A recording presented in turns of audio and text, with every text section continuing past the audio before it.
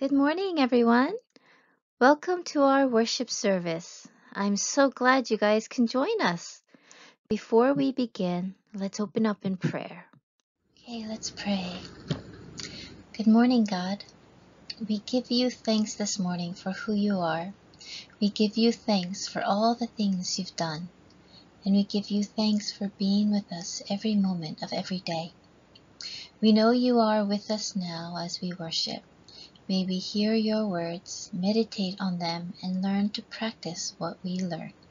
In Jesus' name we pray. Amen. Okay, let's recite the Apostles' Creed in one voice. I believe in God the Father Almighty, maker of heaven and earth, and in Jesus Christ, his only Son, our Lord, who was conceived by the Holy Spirit, born of the Virgin Mary, suffered under Pontius Pilate, was crucified, dead, and buried. The third day he rose from the dead. He ascended into heaven and sits at the right hand of God the Father Almighty. From thence he shall come to judge the quick and the dead. I believe in the Holy Spirit, the holy Catholic Church, the communion of saints, the forgiveness of sins, the resurrection of the body, and the life everlasting. Amen. Okay, our scripture reading for today is from Proverbs chapter 15, verse 4, and Proverbs chapter 18, verse 21. Let's read it together. The soothing tongue is a tree of life, but a perverse tongue crushes the spirit. The tongue has the power of life and death, and those who love it will eat its fruit. This is the word of God. In our verses today, uh, we talk about the tongue. It says the tongue has the power of life and death. The tongue is a tree of life, or it crushes the spirit. Now, how can the tongue do that? This little thing in our mouth, how does it have the power of life and death? How can it bring life or crush a spirit?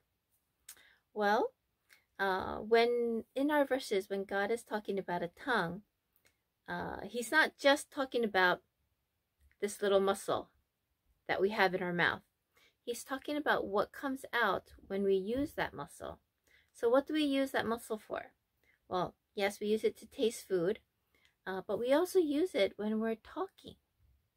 You know, if you ever try talking without moving your tongue, uh, one, it's hard to do because every time you try to talk, your tongue automatically moves. But if you were to somehow make your tongue completely not move, make it completely immobile, you would find that it's very, very hard to speak. It's very hard to make different sounds. And so our tongue is used for communication, for speaking, right? And so here, when God is talking about the power of the tongue, he's talking about the power of making words, of speaking, okay? And our words are powerful. Uh, our words can bring life or death. Our words can be a tree of life or can crush spirits. Uh, now, again, life and death, you know, I can't say things uh, to cause people to die, right? I can't say words and, you know, people to spring to life. Mm, it doesn't quite work that way. But our words are powerful. One, we use our words in prayer. And our prayers are answered. They're heard and answered by God. And so they are powerful, right? But two, our words themselves, the way we speak, the words we speak, have power.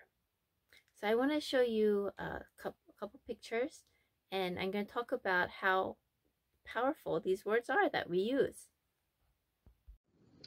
People wanted to see how words affect life. And so they did something called the plant experiment. Uh, they take uh, two plants that are exactly the same.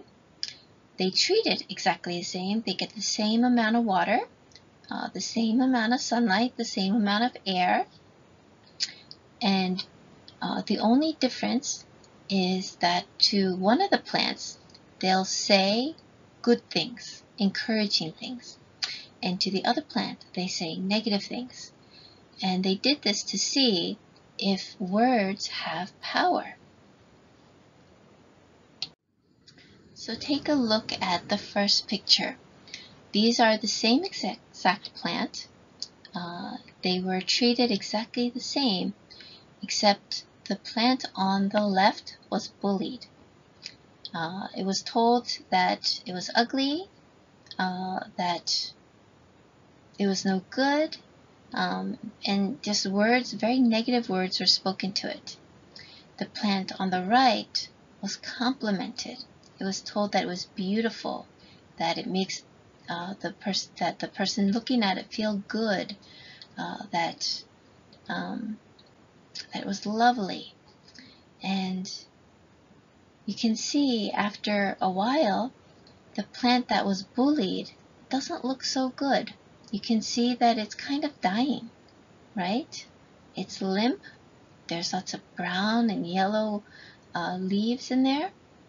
Uh, but the plant on the right that was complimented looks beautiful, looks healthy and strong and vibrant. The, again, the only difference was words. Now this next picture, uh, this the person who did this experiment was curious. Does it only have to be spoken words? And so what she did was she took a um, she took a plastic pot and she wrote words. So she, in one pot, she wrote a lot of negative words.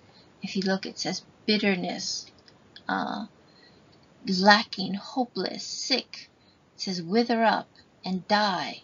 Um, it has a lot of very negative words in there. It talks about sin and regret, uh, and you're stupid, and all these things. And she didn't speak it, but she wrote it on the pot.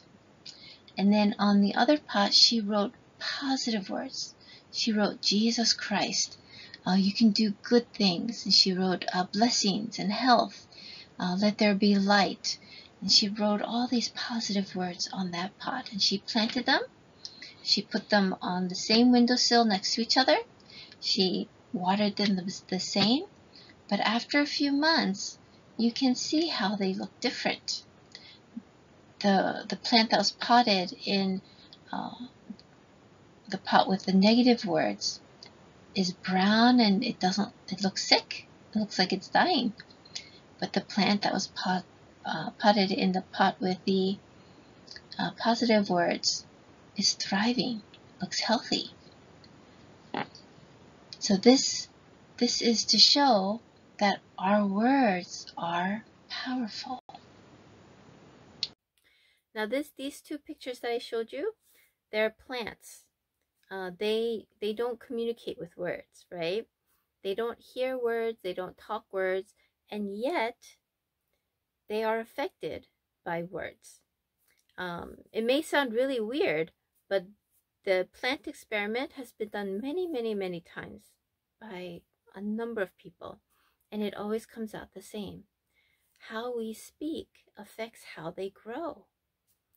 So if plants who don't normally use words are affected by the positive energy or the negative energy of words, how do you think people are affected? How do you think people are affected? We have a spirit that understands those words. We have a spirit that is affected by those words too. So when we speak uh, positive things, hopeful words, helpful words, encouraging words, loving words, then we encourage their people's spirit, other people's spirit, whoever's listening. If we talk about love, we talk about hope, about peace, and we, we talk encouragement to people, uh, we lift them up, then we give life to their soul. We give life to their soul so they can bloom and grow healthy. But just like the plants, if we talk negative things to people, if we tell them, um, if we make fun of them, if we bully them, uh, if, if we uh, are constantly, you know, saying all these negative words to people, we are, just like with those plants, we are killing them. We're bringing their spirit down. We're preventing them from being able to grow. And so our words are words of life or words of death. And God, of course, wants us to be word to use words of life. That's how we share God's love. That's how we share God's hope with the people around us. So I want to encourage you guys. Um, be very careful with your words because your words are powerful. And the words that we speak, they don't they don't instantly kill somebody's spirit or bring someone's spirit to life, right? Um, but they can trigger. They can they can start the, the process. They can start bringing somebody down and making them feel horrible. Or they can start to lift someone up and give somebody hope.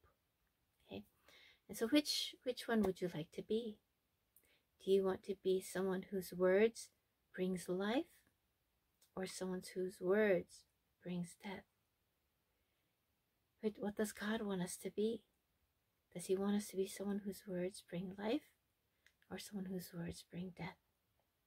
So I pray that uh, this week and moving forward, I want you to think about the words you speak, even if it's just joking. You know, I know sometimes we tend to joke with our friends and we'll tease them or bully them or make fun of them um, with negative words, but it's just like an inside joke between friends. Uh, or sometimes we say things because we're not feeling good, we're annoyed, we're irritated, we're mad, and so we, we blurt things out that are hurtful. But every time we do that, okay, every time we, we even jokingly tease, every time we blurt things out because uh, we're not feeling good, it hurts people. And so I would like you guys, uh, and you know, for me too, but I would like for us to think about the words that we use and try to be more careful and more deliberate to make sure that we use words that bring life to people. Amen. Hmm. Let's pray. Dear God, we know that our words can make people happy or sad, can encourage or be hurtful. But you tell us that our words can do more than just affect people's feelings. It has the power to bring life or death to the Spirit. So help us to be mindful of the words we use, so we can be your tool to bring life to others, not a tool of death. In Jesus' name we pray. Amen. Close with the Lord's Prayer. Our Father, who art in heaven, hallowed be thy name. Thy kingdom come, thy will be done on earth as it is in heaven. Give us this day our daily bread, and forgive us our trespasses as we forgive those who trespass against us. And lead us not into temptation, but deliver us from evil. For thine is the kingdom, the power, and the glory forever and ever. Amen. Thank you so much for joining us this week. I hope you have a wonderful, blessed week. Bye.